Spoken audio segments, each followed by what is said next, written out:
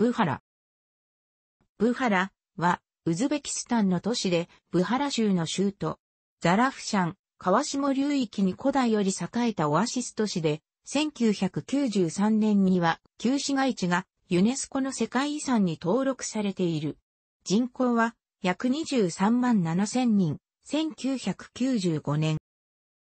都市名はソグド語では PW ガンマ R、プカイアーと呼ばれていたようで、イスラーム時代以降、アミール国旗までこの地域の伝統的な書写言語であった近世ペルシア語、チャガタイ語では、ブーコラ・ブハーラーと表記される。諸外国語による表記ではブーコラあるいはブッコラとされることが多く、古くは日本語でもボハラと書かれることがあった。ブハーラとは元来、サンスクリット語で、総員を意味するビハラないし、ビハラに由来すると考えられている。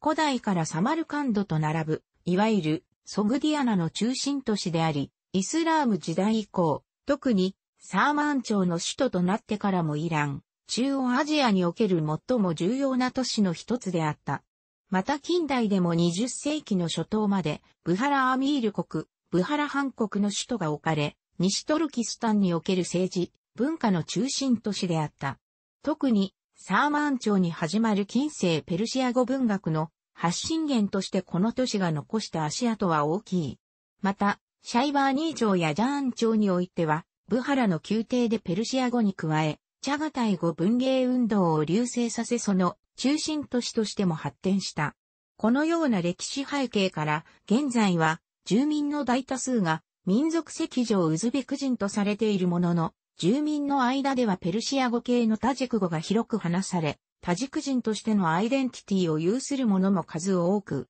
存在する複雑な民族構成を持つ。ブハラは、ザラフシャン、川下流域のオアシス地帯に位置し、その中心都市である。約220キロ東にサマルカンド、450キロ北東に、ウズベキスタンの首都タシュケントが位置している。約85キロほど南西がトルクメニスタンとの国境であり、トルクメニスタンのトゥルクメナバートは約100キロ南西である。産業は天然ガスを産出するほか、繊維、絨毯などの生産でも知られる。旧市街地が世界遺産に登録されて、以降は観光産業にも力を入れている。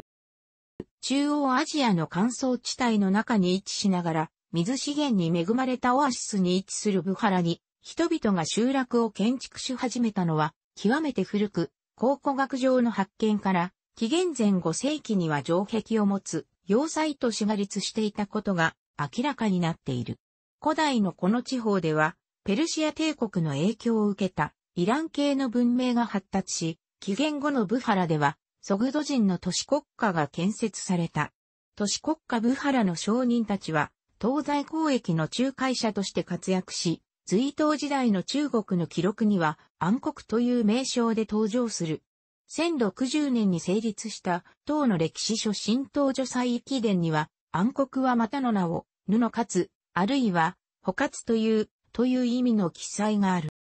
しかし8世紀初頭にはこの地方にイスラム帝国の勢力が及び、ブハラは709年に、ウマイヤ朝のホラーサーン総督、クタイバイ文イコールムスリムによって征服された。これ以後ブハラは、イスラム教を法ずる勢力の支配下に置かれ、次第にイスラム化が進む。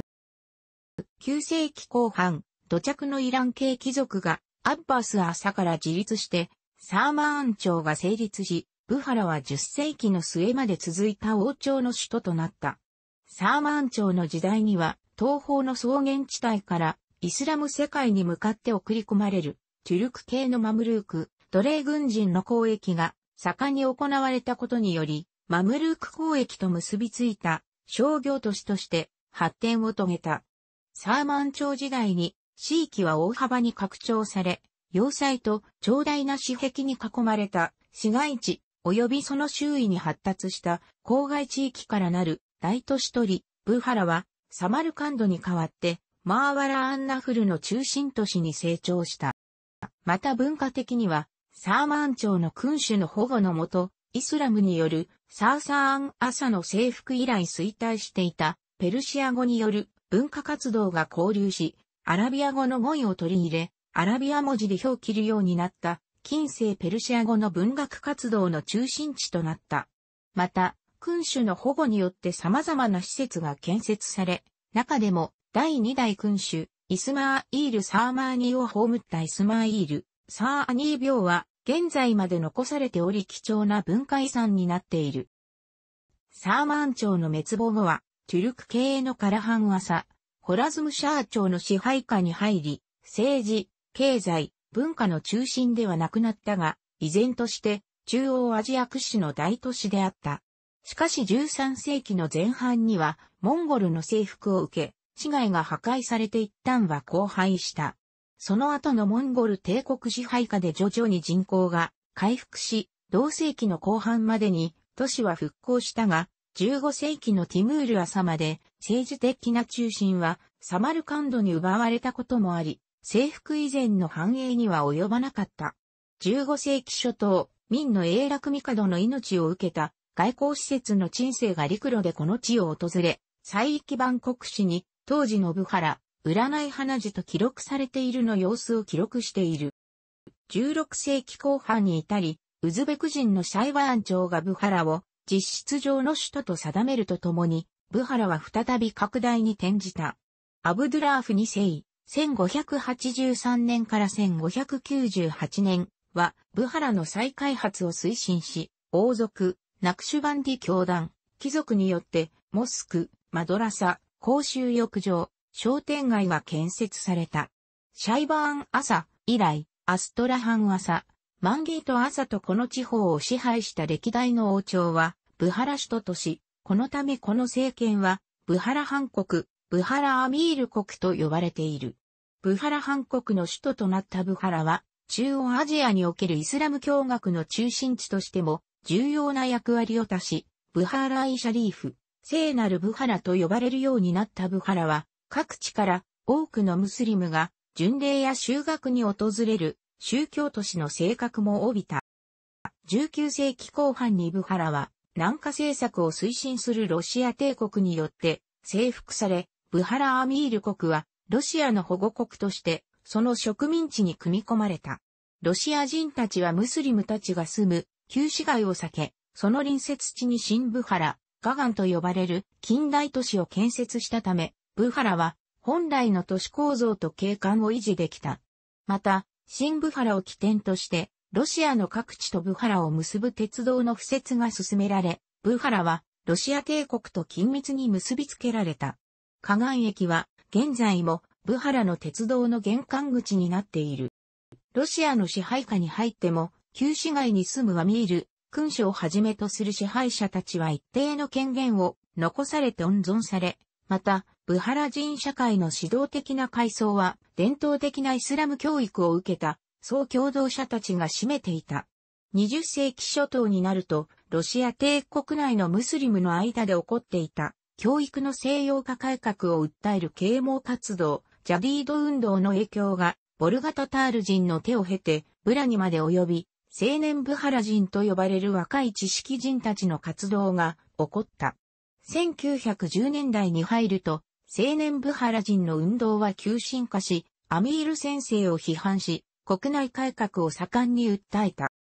1917年のロシア革命の影響は、ブハラにも及び、1920年に赤軍の軍事介入で、ブハラで革命が成功、ブハラアミール国が滅んで、ブハラ人民ソビエト共和国が成立した。しかし旧支配層から国外の反トルコ主義者まで巻き込んだ革命勢力に対する反抗、バスマチ運動やロシア共産党のソビエト政権による介入、粛清によって共和国の指導層は急速に瓦解した。最終的に1924年にブハラ人民ソビエト共和国は解体されて民族の分布を基準とする境界線による新しい共和国が編成されることになった。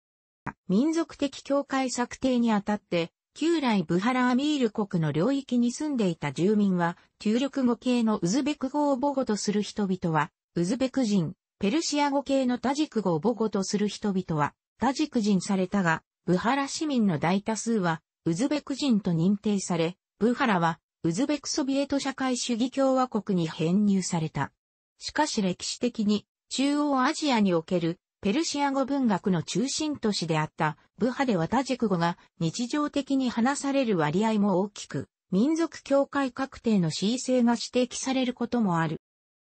1991年にソビエト連邦が崩壊してウズベキスタン共和国が独立すると、ブハラは新しいウズベク独立国家の優れた文化遺産として再評価されるようになった。1993年のユネスコ世界遺産登録を経て観光都市としてのブハラの再開発が進んでいる。ユネスコの公園で開催された1997年のブハラ建設2500周年の祭典をきっかけに、ブハラの歴史的建造物の服が行われたが、建物が本来持つ特色が失われたという声もある。一方ソビエトの崩壊によって、タジキスタンとの間の境界は、永続的な独立主権国家間の国境となり、ブハラでは多くのタジク語を話す住民、タジク人住民が存在するという矛盾が固定化された。現在もタジク人住民の中には、ウズベキスタンよりもむしろ、タジキスタン共和国への共感を抱く者もいる。典型的な大陸性気候にあり、昼夜の温度差は大きい。ブハラ付近の砂漠地帯では夏に最高気温摂氏49度、冬に最低気温摂氏32度が観測されたことがある。クーロリクロ、楽しくご覧になりましたら、購読と良いです。クリックしてください。